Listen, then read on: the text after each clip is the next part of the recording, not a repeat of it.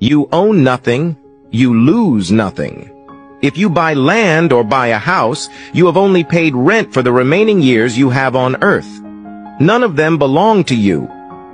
If you buy a car, you have only paid for your transport for the period the car will last or for the period you will last. It doesn't belong to you. If you marry a spouse, you have only got company until circumstances or death do you part. No one owns the other.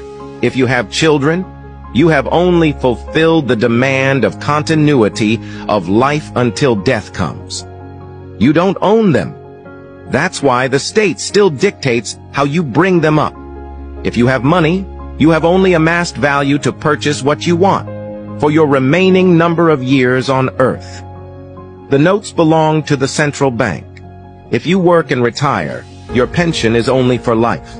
After your life, it stops. Even if you eat and get filled, the food in your belly isn't yours.